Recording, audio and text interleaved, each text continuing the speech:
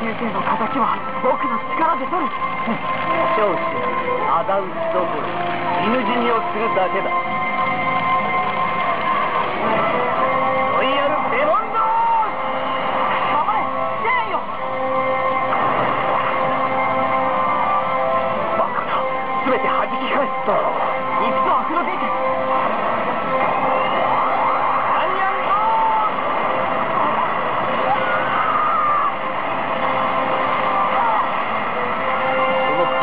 ピラニアの牙のように全てを下。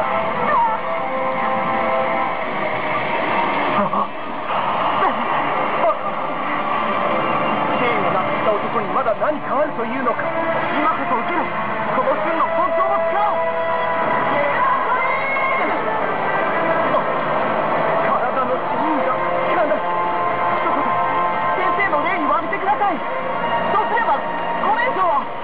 まだ激しさを増すというのか。下回ります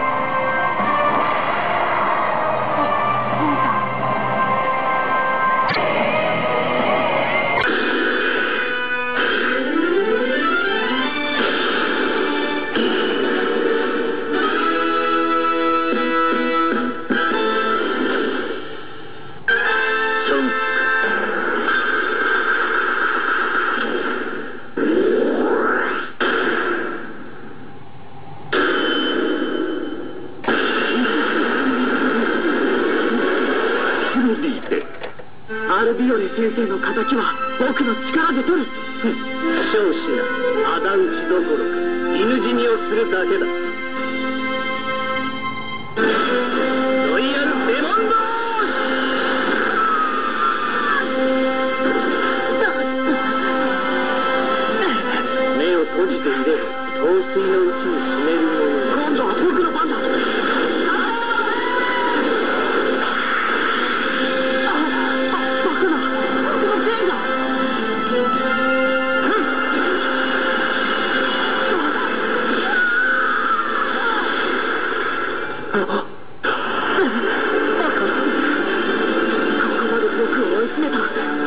なたのだ今こそ受けろこの剣の本当の力を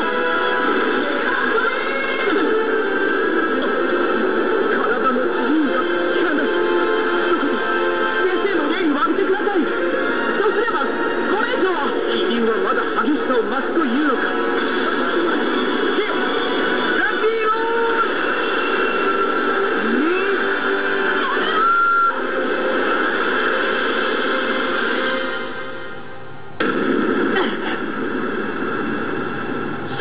白バラが真っ赤に変わるとき君はもはやこの世にいない。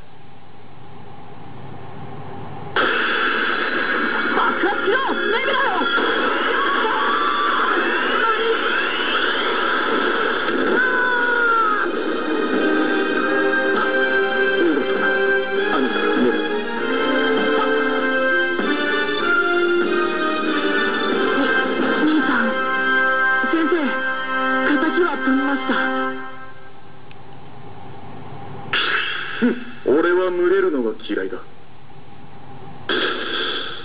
兄さん一兄さんこれは何？それは宇宙から見た地球の写真だよジュン。へえ。これが地球？なんて綺麗な星なんだろう。でも地球には地図にあるような国境線なんてどこにもないんだねなのになんでいつもどこかで戦争や争いが絶えないんだろう。なんでもっと仲良くしないんだろう。